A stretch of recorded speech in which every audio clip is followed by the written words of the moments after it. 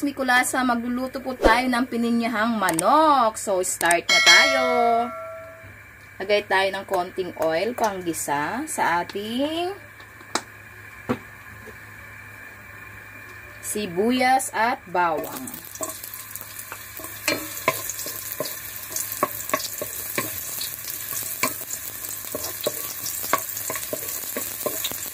Next po natin ang bawang.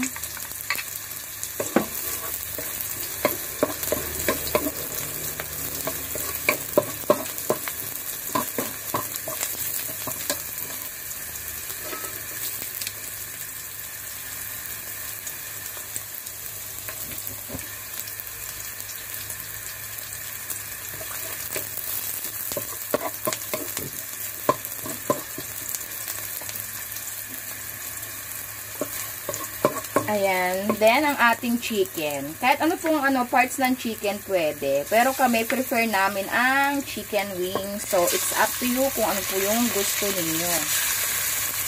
Isasangkot siya lang natin yung ating manok.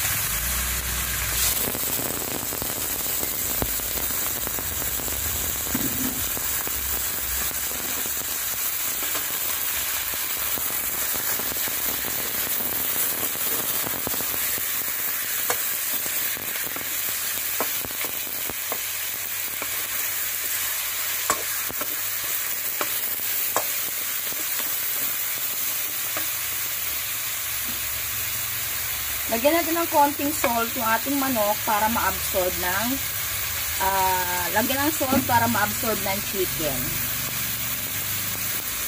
Konti lang.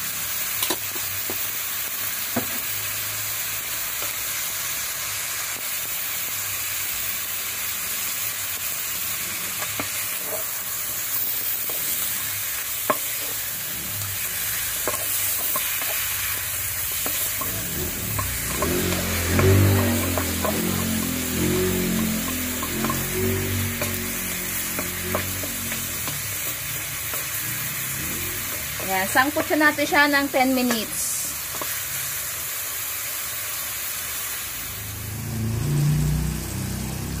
Ayan, check na natin yung ating chicken na sinangkot siya, kung okay na siya. Ayan, okay na siya. Brown brown na. Lagyan po natin ng black pepper. Lagyan din natin siya ng pineapple juice. Ayan po yung pineapple juice. Siya po ang magkukulo.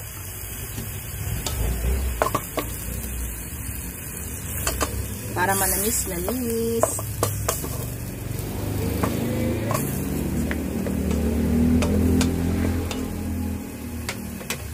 Simmer natin siya ng 5 minutes. So, ayan, kulong-kulo na. Maglagay po tayo ng ating carrots.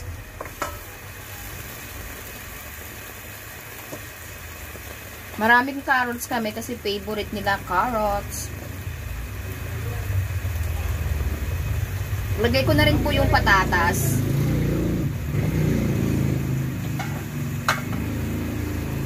Lalagay din po ako ng evaporated milk. Half cup lang po. Ayan.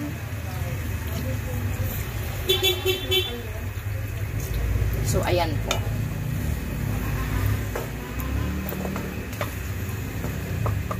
Simmer ulit natin siya ng 10 minutes. So, ayan. Kulong-kulo na siya at luto na rin ilagay po natin ang ang ating pineapple. Ayan. Diba? Ang ating pineapple.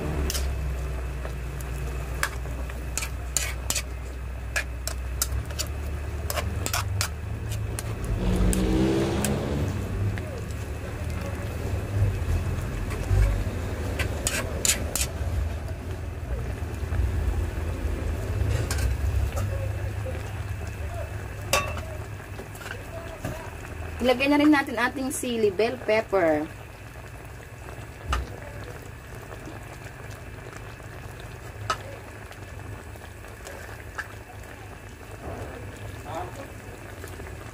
Then, cover ulit natin siya. Ayan, luto na ang ating pininyahang manok. Yan, very creamy. Luto na po ang ating pininyahang manok. So, ayan guys. Happy eating! See you again on my next vlog. Ito po si Kulasa, yung masugid na tindera at tagapagluto. Ayan guys, kung di pa po kayo nakasubscribe sa channel na to, please do, please do subscribe at hit the notification bell para lagi po kayong updated. Bye-bye! See you again on my next vlog.